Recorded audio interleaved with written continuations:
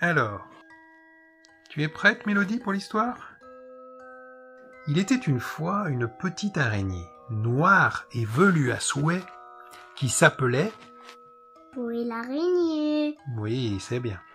Elle habitait une maison de poupée sous les combles d'une vieille demeure, dans un endroit très sombre et très poussiéreux où jamais personne n'entrait.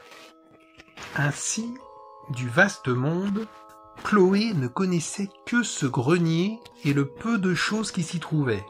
Une malle en osier, quelques livres du temps passé, une boîte de papillons qui lui servait de garde-manger et une poulée appelée bébé, pour qui elle brodait des cols en dentelle. Or, un jour, pendant qu'elle tissait aux fenêtres de sa maison des rideaux de soie, une souris vint à passer. Tu me donnes un peu de ton fil, je te dirai comment trouver un jardin où les papillons sont tendres à croquer. Aussitôt dit, aussitôt fait.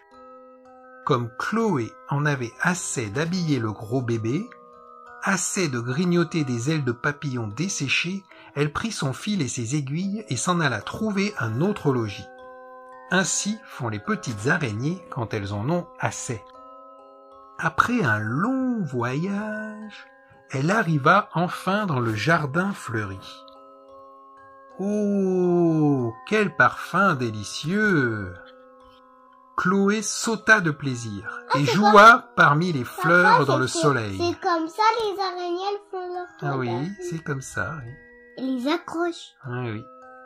Suspendu à son fil, Mais mais est-ce qu'ils ont ils, ils fait ils font comment? Est-ce que ils vers ses pieds? Et ben euh, ils ont ils ont ils ont des fils et après ils le font. pas tout à fait, non.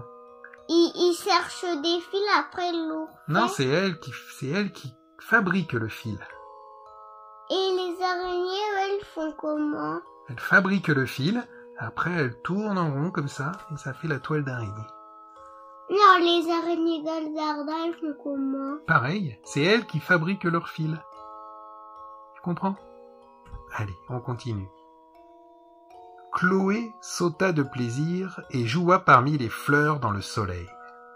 Suspendue à son fil, elle glissa jusqu'à l'arbre à papillons. Prenant appui sur deux brindilles, elle tissa une toile très serrée.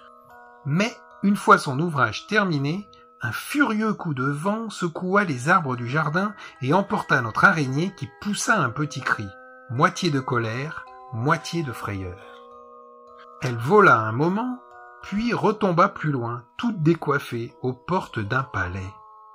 Par le trou de la serrure, elle pénétra dans une salle brillamment éclairée et richement décorée. Devant tant de beauté, Chloé se dit qu'il fallait qu'elle aussi embellisse ce salon de la plus belle de ses toiles, et elle se mit aussitôt au travail. Il faut pas aller propre la maison. Hum. Mais son ouvrage terminé, quelqu'un cria Quelle horreur Enlevez-moi tout de suite cette saleté Un méchant coup de balai emporta toile et araignée. Ah ah ah, bien dit pour toi. Non, non, ça suffit J'en ai assez d'être chassée. Au diable les courants d'air, au diable les coups de balai s'exclama-t-elle. Plus jamais je n'écouterai une souris. Et elle s'en fut en toute hâte. Voilà comment se termine cette histoire. Notre araignée retrouva enfin avec plaisir son grenier poussiéreux, sa maison de Ah poupée et bébé qui l'attendait. Si vous ne passez pas en courant d'air, un balai à la main, vous pourrez toujours aller voir Chloé.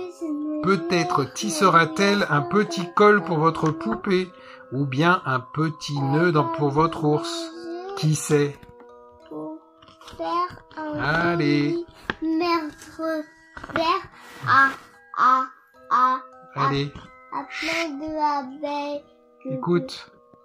Bonne nuit, Chloé l'araignée. Où, où, où, où, où l'araignée va Bonne nuit, Mélodie.